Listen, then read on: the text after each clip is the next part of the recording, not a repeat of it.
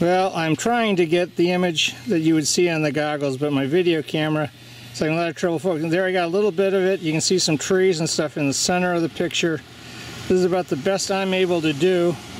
I wanted to try something different since all the uh, videos otherwise are taken off of a monitor, but the goggles give